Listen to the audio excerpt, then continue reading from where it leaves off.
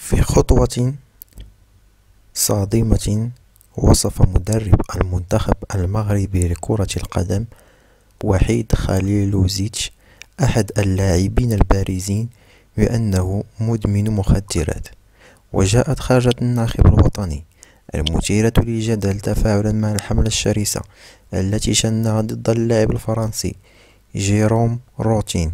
في الصحافة الفرنسية.